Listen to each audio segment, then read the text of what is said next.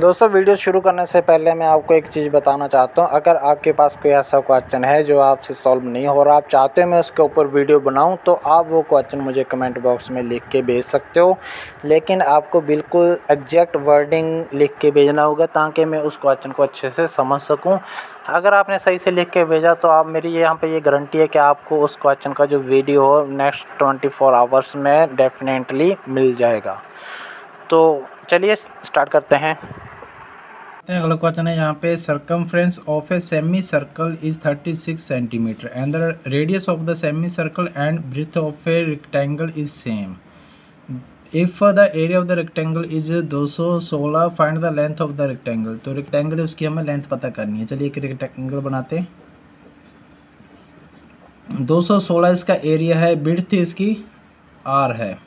Length हमें यहाँ पे पता करनी है। एक सेमी सर्कल है। ठीक है? इसका यहाँ पे ये आर हो गया।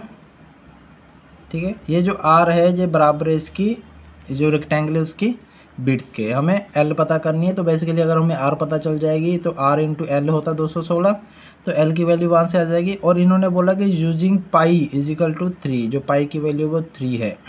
तो चलिए, इसकी सरकमस्टेंस सरकमफ्रेंस दिया हुआ है हमें। इस जो सेमी सर्कल है सेमी सर्कल आधा सर्कल हो गया, इसका सरकमफ्रेंस सरकमफ्रेंस क्या हुआ इसका? एक तो ये एरिया हो गया, एक ये भी तो हो गया साथ में, ठीक है? तो ये वाला एरिया क्या हो गया इसका? पाई आर पाई आर ये हो गया टू पाई आर होता है टोटल तो ये पाई आर हो गया आधा प्लस ये आर है तो ये टू आर हो जाएगा प्लस टू आर ठीक है? ये बराबर है किसके? थर्टी सिक्स के, इन्होंने ऑलरेडी दिया हुआ है। इसका जो सरकमफ्रेंस है। तो पाई की वैल्यू कितनी? थ्री दी है टू ये होगी, कितना? फाइव आर हो गया।